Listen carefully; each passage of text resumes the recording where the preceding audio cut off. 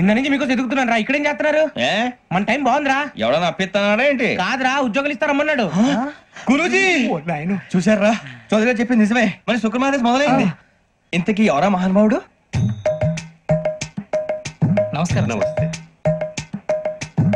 అయినరా నేను చెప్పింది? ఆహా సాక్షాత్ ఎంప్లాయ్మెంట్ ఎక్స్చేంజ్ నడుచుకుంటూ వస్తున్నట్టు ఉంది పదండి పట్టేద్దాం. నమస్కారం సార్. నమస్తే. వీలే సార్ మా ఫ్రెండ్స్. నమస్కారం. నమస్తే నేను చెప్పానుగా భగవాన్ గారు. ఆహా పేరులోనే దేవుడు ఉన్నాడు. లోపల కూడా. పాజిటివ్ థింకింగ్ ఎక్కువ. ఇంతకీ మీరు ఇండియానా చైనీసా ఇండియా సార్? మా ఫేస్ చూస్తారు? అనిపించలేదు మీకు? భలే కామెడీ ఫీల్ అలా ఉన్నాడు. అవును సార్. నేను అడిగేది ఇండియన్ రెస్టారెంటా చైనీస్ రెస్టారెంటా అని. నేను ఏది ఓపెన్గా డిస్కస్ చేయను కదా? పేరు చూసుకుల్లో డిస్కషన్ పెడతాడు అనుకుంటే వీటి అంటే హోటల్ అంటున్నాడు. బాబు ఫీల్ అవుతున్నాడు? అంతా మీ ఇష్టం ఫస్ట్ చైనీస్ రెస్టారెంట్కి వెళ్దాం. నెక్స్ట్ అక్కడ డిసైడ్ చేద్దాం. చాలా ఇబ్బంది పడుతున్నట్టున్నారు. నువ్వు చేత్తో తినే బాబు. నేను జనరల్గా చైనీస్ ప్రిఫర్ చేస్తాను. బ్యాట్ కంటే తక్కువ ఉంటది కదా. రేపు మేము కూడా ఇదే ఫాలో అవుతాం. ఇంతకీ మీకు స్టీల్ ప్లాంటా షిప్ యార్డా ఏషియాడా జింక బంక? బంక? హెచ్పిసిఎల్ హెచ్పిసిఎలా ఇవన్నీ దేనికి సార్ దేనికేంటి ఉద్యోగం చేయడానికి మీకు ఎందులో కావాలో చెప్పండి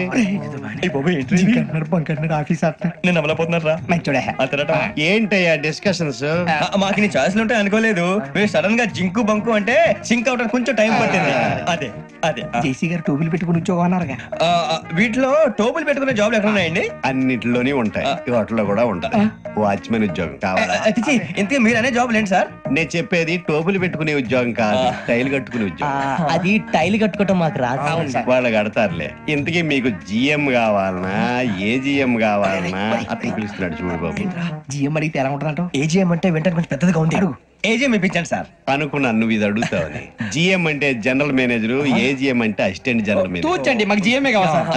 ఆ, అది సరే కానీ భగవాన్ జీ ఈ ఉద్యోగాలకి టోపులు పెట్టుకుని వెళ్ళొచ్చా? నీ ఇష్టం వచ్చినట్టు వెళ్ళొచ్చమ్మా. అయితే నాకు జింక్లో నాకు స్టీల్ ప్లేట్ నాకు బంకులో గానీ కన్ఫ్యూజ్ చేయగానే అందరికీ ఒక చోట ఇప్పించండి సార్. కలిసి పని చేసుకుంటాం. జీతం ఎంతండి? Thirty thousand. అంటే నలభై వేలు. వడ్డీ ఎంత? అప్పు కాదయ్యా నీకు ఇచ్చే జీతం. అంటే తిరిగి ఒక్కలేదా ఫ్రస్ట్రేషన్లో ఉన్నట్టున్నాడు. అవునండి. నువ్వు ఇచ్చిన వాళ్ళు తీసుకోరు.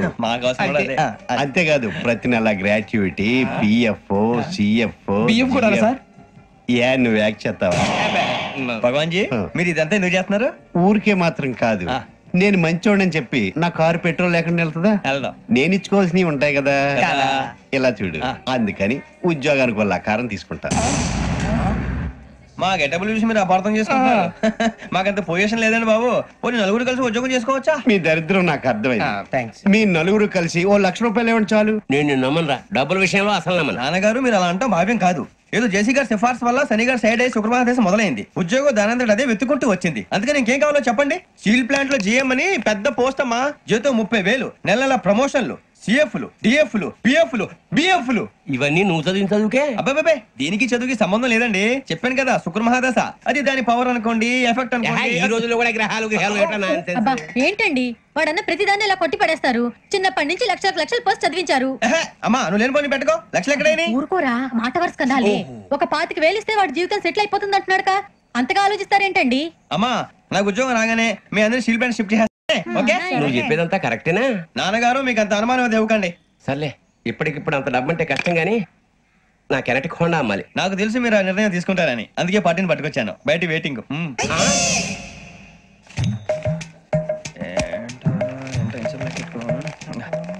ఇవ్వండి. భగవాన్ జీ మీతో నాకు కుదరదండి. మీరు తేడా మనుషులా ఉన్నారు. చూడటానికి అలా కనపడతాం కానీ తేడా మనుషులు కాదండి. ఇది ఎంతో లెక్క పెట్టండి. ఐదు వేలు తగ్గిందండి. ఆ విషయం నాకు ముందు చెప్పాలి కదా. ఇది తేడాతనం కదా? సర్దుబాటు కాక జరిగిన పొరపాటు. మా దరిద్రం మీకు తెలియంది కాదు. మీ ప్రాబ్లమ్స్ నాకు అనవసరం అండి. ఇప్పటికే మీ మూలంగా మూడు లక్షలు బొక్క తెలుసా? మీరు ఫేస్ అంత చిరాగ్గా పెట్టకండి. రే ఆ గొలుసు ఎవరా? తొందరగా ఎవరా? ఆయన కోపం వస్తుంది. ఇదిగో తీసుకోండి తీసుకోండి. వద్దండి, తీసుకోండి ప్లీజ్. భగవాన్ గారు తీసుకోండి సార్ ప్లీజ్ భగవాన్ గారు మీ కోపం తగ్గిందా? కోపం కాదు వెంకటేశ్వర గారు. ఎందుకో భరించలేను. అది నా బలహీనత. ఇవన్నీ వదిలేయండి. ఇంకోసారి పొరపాటు జరగదు. మేము ఎప్పుడు జాయిన్ చెప్పండి. కొత్త బట్టలు కొనుక్కోవాలి. మీరు ఆ పనిలో ఉండండి. పొద్దున్నే గుడికి వెళ్ళి నైన్ థర్టీ కల్లా మొన్న వచ్చారే? ఆ. ఆఫీస్కి వచ్చేయండి. మీ అపాయింట్మెంట్ ఆర్డర్స్ రెడీగా ఉంటాయి. ఎయిట్ థర్టీకి వచ్చేస్తాం. మీరు వచ్చిన వాళ్ళ తలుపులు తీరు. మీ కంగారు నేను అర్థం చేసుకోగలను. ఇంతకాలం పని లేక స్తంభించిపోయిన మీ జీవితాలు ఇక నుంచి వేగం పుంజుకుంటాయి. ఆయన ఉన్నారా? ఎవరు? భగవాన్ గారు. మీరెవరు? ఆయన క్లోజ్ ఫ్రెండ్స్. సరే.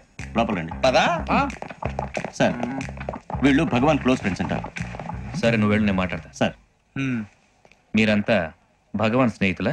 అవును. అలాంటి స్నేహితులు ఉన్నందుకు గర్వపడుతున్నాం. ఉమ్, సరే.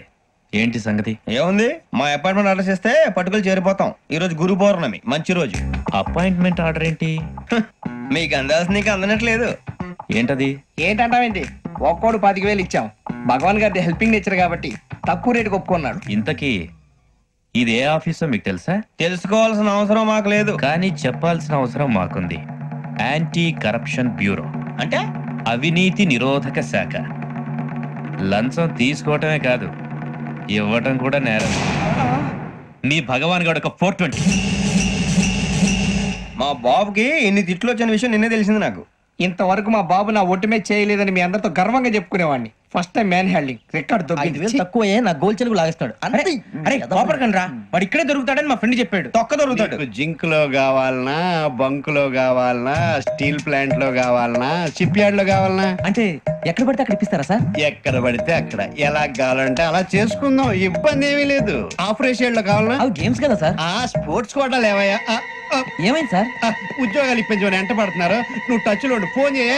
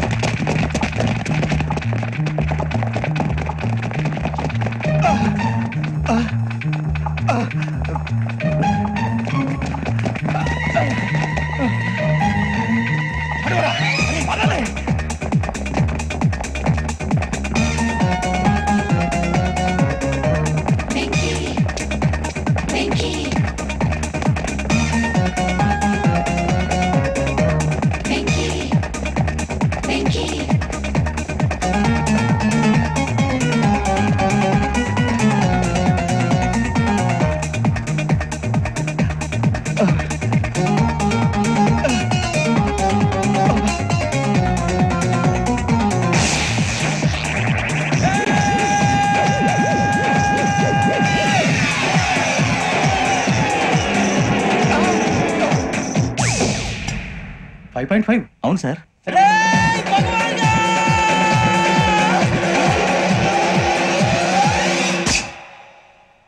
గ్రేట్.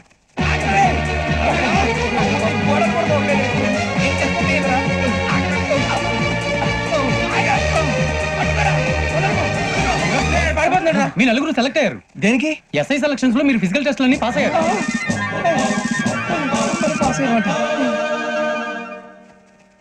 కానీ మేము అప్లై చేయలేదు సార్ అప్లై చేయలేదా? చేయి వదలకండి సార్ కాలు పట్టుకోవాల్సి వస్తుంది. రాగరాకు వచ్చిన అవకాశం. సరే. మీరంతా డిగ్రీలు పాస్ అయ్యారా? ఎప్పుడో. ఓకే. ఇప్పుడు అప్లై చేయండి. థ్యాంక్ యూ సార్ నేను మేనేజ్ చేస్తాను. థ్యాంక్ యూ సార్ మీరు రిటర్న్ టెస్ట్ ప్రిపేర్ అలాగే సార్. ఆల్ ది బెస్ట్ రేయ్ ఈ పరీక్షల్లో సమాధానాలని ఏబిసిడ్యూల్లోనే ఉంటాయి. ప్రతి ప్రశ్నకి నాలుగింట్లో ఏదో ఒకటి కరెక్ట్ ఆన్సర్ ఏది కరెక్టో మనకు తెలియదు కదరా? నీకు ఏబిసిడ్యూల్ తెలుసు కదా? తెలుసు. అయితే? కళ్ళు మూసుకుని నాలుగింట్లో ఏదో ఒకటి రాసుకుంటూ పోతాం. మన అదృష్టం బాగుండి అవి కరెక్ట్ అయితే పాస్ అయిపోతాం. ఎస్ఎల్ కూడా అయిపోతాం. వారిని. ఏబిసిడీలు వస్తే అసైల్ అయిపోతాం అని తెలిస్తే నాన్న కష్టాలు పడి డిగ్రీలు చేసేవాళ్ళం కాదు కదరా. రెడీ స్టార్ట్ చేద్దాం. నీ ఇష్టదేమో ఆంజనేయ స్వామి. వేసుకో? నీ ఇష్ట పొలిటీషియన్? వాజ్పేయి. ఏబిసిడీలో రావాలి. నేషనల్ లెవెల్లో కాదు స్టేట్ లెవెల్లో ఏడు. స్టేట్ అయితే చంద్రబాబు నాయుడు. సిఎస్కో నీకు ఇష్టం క్రికెటర్ ఎవర్రా? Mister dependable. ఆడేవడరా? ఓ నీ క్రికెట్లో విజ్ఞాన ప్రదర్శనలో ద్రావిడు. డిఎస్కో వేసావా? నీకు ఇష్టమైన నటుడు? బాలకృష్ణ. సమర్సింహారెడ్డిలో డీటెయిల్స్ వద్దు. బిఎస్కో అయిపోయిందిరా. అందరూ దీన్నే ఫాలో అవ్వాలి. రాత్రికి ఏబిసిడీలు బాగా బట్టి పట్టండి. ఆ? అందరూ ఏవే ఆన్సర్లు రాయాలి. మునిగితే అందరూ కలిసి మునుగుదాం. అయినా గురువారం పాటు గురుమేట్ల మీద కూర్చొని రాసింది ఖచ్చితంగా జరుగుతుందని జేసీ గారు చెప్పారు. మన ప్రయత్నం మనం చేద్దాం. మిగిలిన ఎక్కడ వదిలేద్దాం. ఆయన కూడా ఏదో పని ఉన్నారు కదా.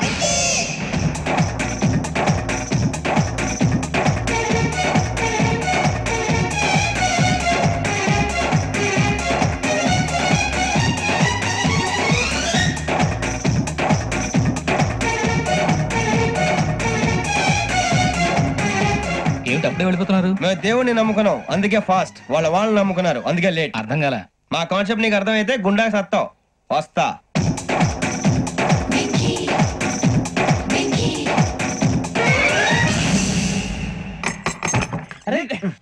మనం అనుకున్నదంతా పొద్దున జిరా తెప్పించకండి. ఎవరు పోయారు? నీ దరిద్రం పోయింది. నువ్వు ఎస్ఐ ట్రైనింగ్కి సెలెక్ట్ అయ్యావు. నిజమా? నమ్మలేకపోతున్నాను అన్న తండ్రి నేనే నమ్మలేదు. వాళ్ళు నమ్మారు. నాన్న నోరు తెరవరా? వాడు ఇంకా మొహం కడుక్కోలేదమ్మా. వాడికి ఏం కొత్త కదమ్మా నువ్వు పెట్టవే. అమ్మా చాలా సంతోషంగా ఉంది.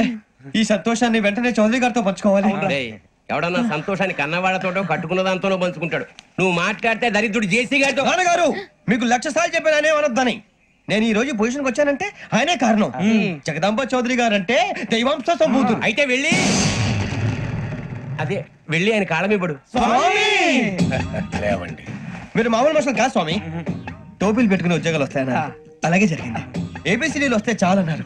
చివరికి వాటిలతోనే ఉద్యోగాలు తెచ్చుకున్నాం. ఇందులో నాదేముంది? మీ గ్రహాల మూమెంట్ అలా ఉంది. అలా అనకండి. ఆ గ్రహాలు అలా మూవ్ అయ్యేలా చేసింది మీరే. వెంకీ ఈ ప్రయాణంలో నీకు ఇంకో ప్రయోజనం కూడా ఉందయ్యా. వీళ్ళందరూ ట్రైన్ యాక్సిడెంట్లో పోతారా స్వామి? కాదయ్యా. ఈ ప్రయాణంలో నీకు అందాల రాశితో పరిచయం ఏర్పడుతుంది. ఆ పరిచయం ప్రణయంగా మారి వివాహానికి దారితీస్తుంది స్వామి మాకు పొజిషన్ లేదని ఊళ్ళో లేడీస్ అందరూ చాలా చీప్గా చూస్తున్నారు. తెల్లరా బాబు అనుకున్నాను. చల్లటి వార్త చెప్పారు. మరి మాకు? నీకింకా కొంతకాలం బ్రహ్మచర్యం తప్పదు. వీళ్ళకి ఇప్పుడు అప్పుడే తొందరగా ఉందిలేండి. మేము బయలుదేరుతాం స్వామి. మిక్సల్ టచ్లో ఉంటాం. శుభం. ఒరే బుచ్చిగా ఏంట్రా? సులోచన రాదా ఒరే మొత్తం అమ్మాయిలే ఇది ఎక్కుదాం. ఎందుకైనా మంచిది. ఫోన్ ఇరా అవుట్ గోయింగ్ చేద్దానట్రా మా నాన్న. హలో ఇప్పుడు మేము స్టేషన్కి వచ్చామండి. ఏ బోగి ఎక్కితే బాగుంటుందో మిమ్మల్ని మాట్లాడుదామని. ఈ రోజు బుధవారం పంచమి. అంటే మకరం నుంచి గురుడు సింహానికి జంప్ అవుతున్నాడు. ఏదైనా ఆడ్ నెంబర్ బోగిలో కూర్చోండి. ఆడ నంబరా? నంబర్లు ఆడబాగా ఉంటాయి గురూజీ. ఆడ నెంబర్ కాదయ్యా ఆడ్ నెంబర్. బేసి సంఖ్య. అర్థమైంది కాపర్ కానీ గురూజీ. ఇక్కడ నాలుగులోనే ఏడులోనే ఛాన్స్ ఉంది. ఏడు ఎలాగో సెల్ నంబర్ కదా. ఇక నాలుగు ఎక్కేస్తాం. ఏడంటే బేసి సంఖ్యే కదా వెంకీ. తెలుసు. సేఫ్టీకి అడిగాను. ఇంతకీ ఏ సైడ్ కూర్చుంటే మంచిదంటారు? నీ రాశి రీత్యా ఈశాన్యంలో కూర్చుంటే బెస్ట్ ఒరాయ్ గురూజీ దెక్కొద్దన్నారు పదండి.